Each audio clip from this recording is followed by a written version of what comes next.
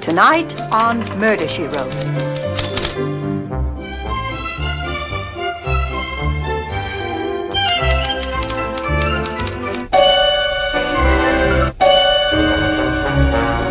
Seems a downright shame.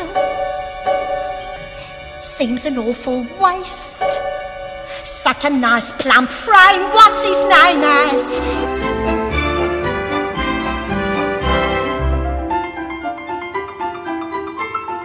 Ah!